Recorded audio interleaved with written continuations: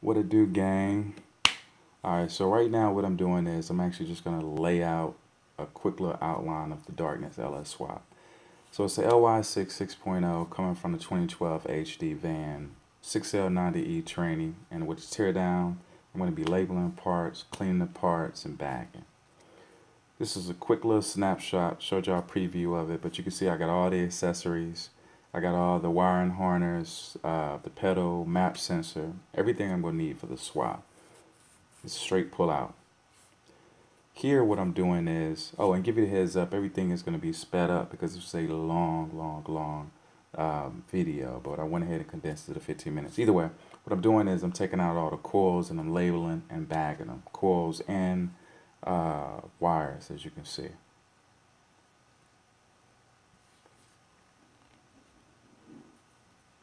This is my first time breaking down one of these blocks. So it took me about maybe maybe total three hours, but it should take you no more than about maybe an hour and a half. But you can see I'm making sure to, to label and bag everything. Here what I did was I'm just taking out a spark plug and I just want to check the, uh, the condition of the spark plug and it look pretty good. Now I'm taking off the exhaust headers. It's a 13 millimeter going through, removing all the bolts. And uh, I'm not going to use these headers. I'll probably get some off of eBay for this 6.0. Now note that those are 823 heads. Here I'm taking off the, uh, the PVC valve, I think. Now just to give you all the heads up, there's going to be a few things that I'm just going to say straight up I don't know. If you know, do me a favor and leave a comment below. But a lot of the sensors, I'm not even going to try to explain what they are because I'm just not sure.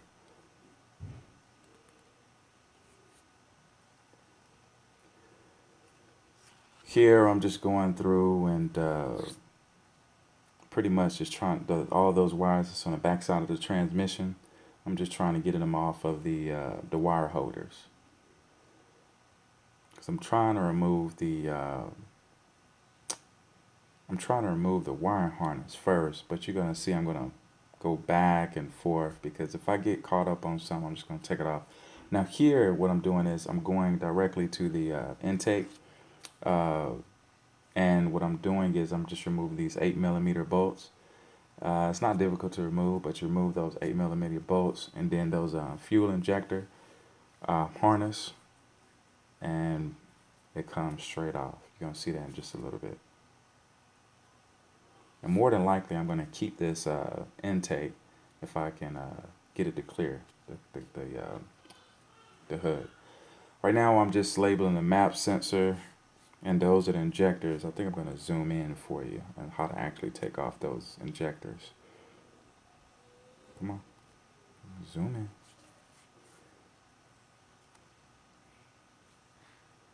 Had to figure it out first. There you go. See, we just pull that clip up and it comes straight off. What sensor was that? I just know it's on the valve. I might have just said the uh, the valley valley sensor, but I'm not sure what that sensor is. Then that little black wire, that was the uh, the ground. We'll make sure to put that back on the grounded block. You can see here that valley sensor, again, I don't know the exact name of it, but it sits right under there under the intake. But you can see where you just push that clip up and it just comes straight off.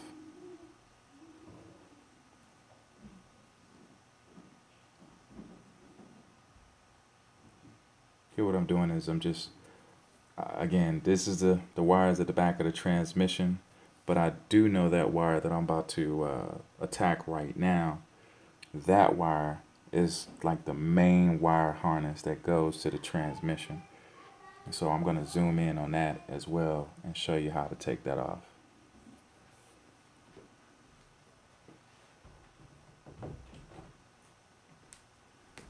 As you can see, you just pull that little clip out, turn it counterclockwise, and it comes straight out.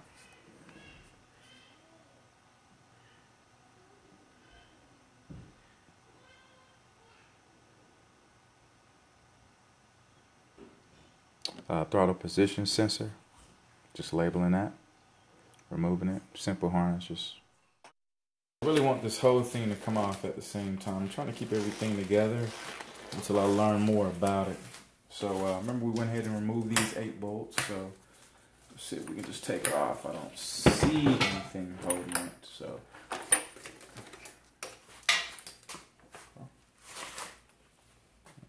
I'm just gonna come back here and get a good picture of the starter. So uh, this here goes into here and it just clicks like that. This right here, uh, what is that for? What I know? Anyway, then you got this one right here that goes and see where that connects at right there. So, um, I see everybody taking off the starter, so I'm gonna go ahead and take off the starter, and then um, I'm gonna take off that plug. And uh, oh, this could be that was it the camshaft position sensor? Anyway, after that, I should be able to just take it straight off. All right, what I'm doing here is I'm just removing the uh, the harness holding bracket, and you can see it's behind the uh, the oil cooler lines.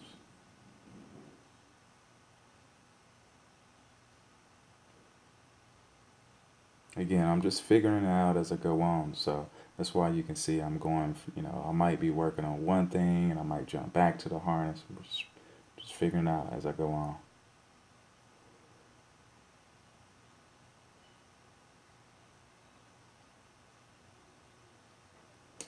Can't, I don't even know.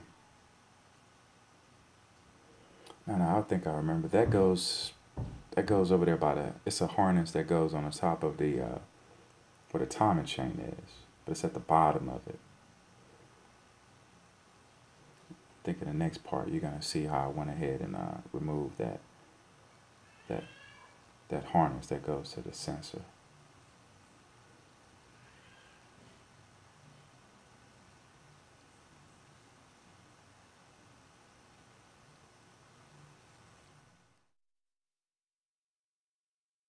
All right, so this here, we're gonna go ahead and just, you see this, this is next to the starter. I don't think we're gonna move the starter today. I think we need to. But uh, this right here, can go ahead and take this off. And I'm gonna actually put the bolt back inside. Once I put the bolt, so take this here, remove this. then I'm gonna go to the other side and I'm gonna see what's gonna be holding it up. Now, it wasn't a lot of good videos on how to remove these fans. Um, so, and I, I, I, didn't, I'm not gonna use this fan. Um, so what I did was I just went ahead and uh, took one of these um, hammers and I just uh, went to town on it. It maybe took about maybe about five, ten minutes and um, it came straight off no real problems. Again, I'm not worried about it, but I'm sure there's a better way how to remove it. I'm sure there's a uh, maybe a fan clutch too Alright, so now I believe what I'm going to start doing is working on removing the belts. So you just take that belt tensioner and uh, go ahead and depress so you can get the belt off. And then from there, oh, I guess I jumped over to the uh, uh, to the AC. I didn't see how you could just put the AC, how you could remove the AC belt. I, I didn't quite understand that. So I just went ahead and removed the entire AC. Now, give you a heads up, I'm not going to work on AC right now. Uh, and I have to have like a new bracket, finish air. I'm not sure. So I'm not even going to touch that right now. So that's going to stay off. I'm not even going to put that bracket back on in the AC. Here I start to tackle the uh, the alternator. Now I'm not sure, but that does seem pretty high. I gotta I gotta double check, but I'm hoping that that AC can clear. Excuse me, the alternator can clear the hood. I'm hoping the intake, the um, air intake, can clear the hood and also the alternator. I'm hoping.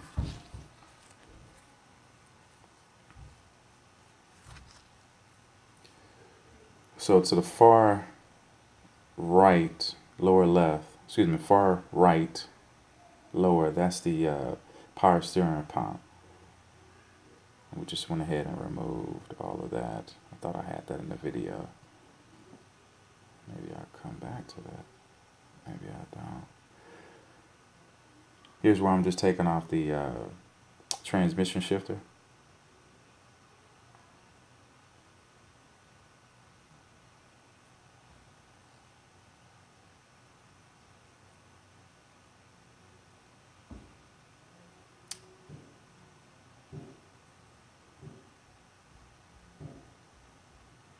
Uh, you know what, y'all? That's my bad. Um, I did not show me taking off the rest of those accessories. My bad.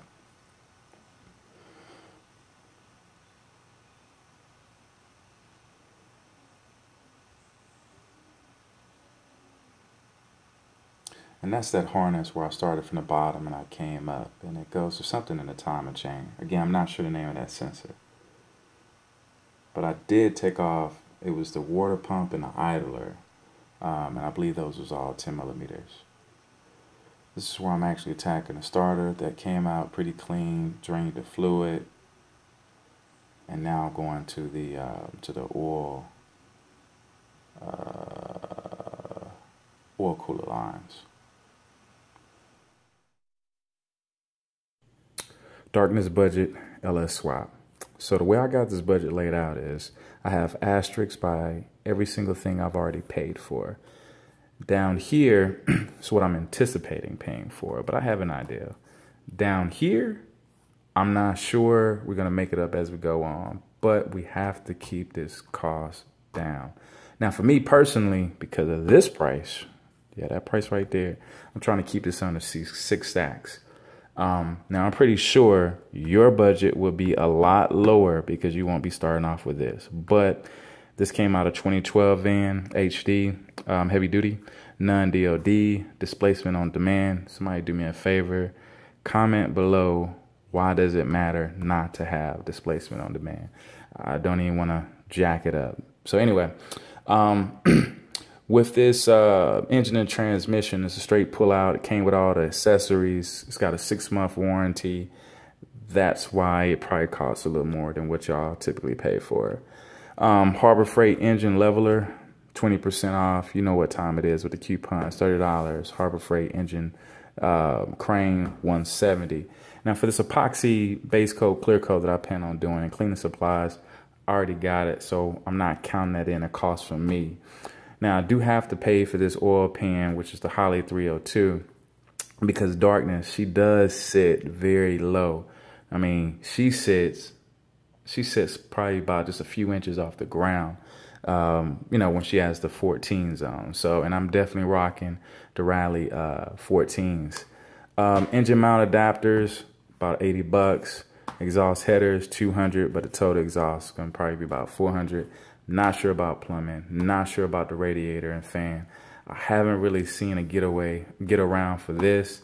Haven't really seen much of a get around for this. And I got more time than money, so I'm going to be doing the, the wire harness. The dude I bought it from is going to be able to get it tuned for 100 bucks. Um, and I believe that's to delete the CAD and all that good stuff.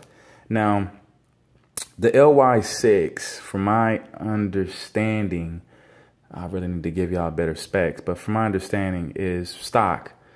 No tune, none of that good stuff is supposed to create uh, 363 horsepower and it's up there, 300 and something odd foot pounds of torque as well. So I'm I'm actually going to be happy with this. I'm actually going to be happy with the amount of horsepower and torque. Um, I'm not taking darkness to the track. I ain't taking dark to any of those places. So um, I'm going to be happy with it. I'm more focused on the efficiency.